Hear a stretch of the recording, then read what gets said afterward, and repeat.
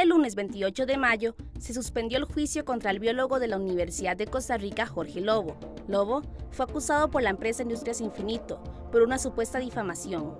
Grupos ambientalistas se concentraron la semana pasada en el centro de San José para brindarle apoyo. Además, se comenzó una recolección de fondos para la campaña Contribución a la lucha legal por crucitas, donde se le pide a los costarricenses su ayuda económica para lograr obtener las pruebas en el lugar donde se construiría la mina.